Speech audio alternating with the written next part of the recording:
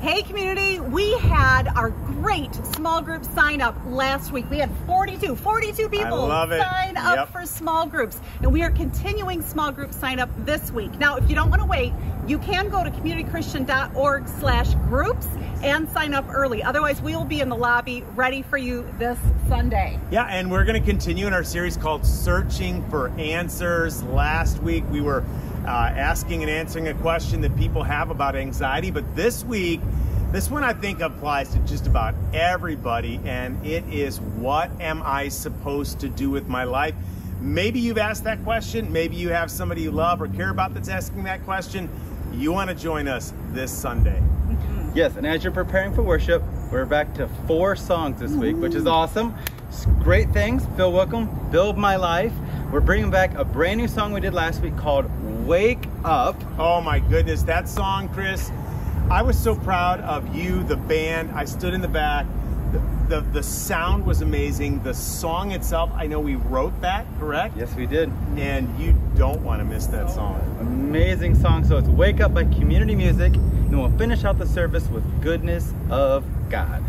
Awesome, awesome. And I want to give you a little sneak peek for next week. Next week, we're going to have our five-year birthday bash. The 26th of so, September. 26th. Yeah. So we want to make sure you're there. We're still planning all the good things. We'll have yes. things inside and outside, things for kids, things for adults. So make sure you are there on the 26th also. Yeah, that's going to be fun. And in terms of Plainfield fun facts, we've been doing these each week. Uh, maybe you wondered why we are standing here, and this is the DuPage River. And uh, just to my right here is uh, the Lockport Street Bridge. Uh, but we're here because maybe over the summer you've noticed all sorts of inner tubes uh, floating down this river. Chris, now you had an inner tube experience, didn't you? Mine might have been a, a Plainfield not so fun fact.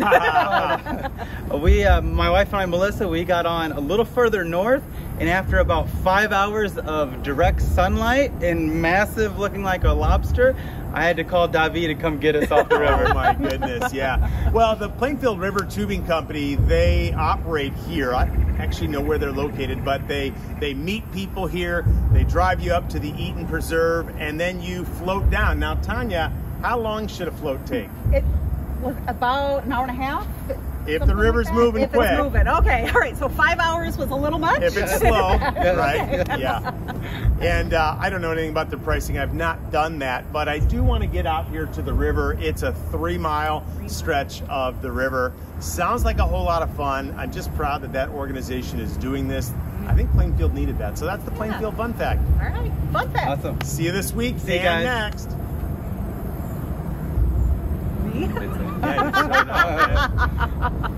All right. You say hey community and include that. You say hey. Holy crap, we just killed it. Boom! We just killed it. We just killed it. I don't even know. Man, you guys are so good. Should have hit record.